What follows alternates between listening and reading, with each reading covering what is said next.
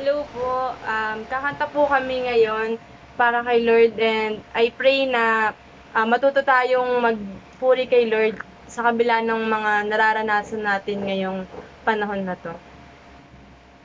And ngayon pong quarantine, nagpapasalamat ako kay Lord dahil po natuto po ako maging pinili at kumanta po para kay. Thank you, Jesus.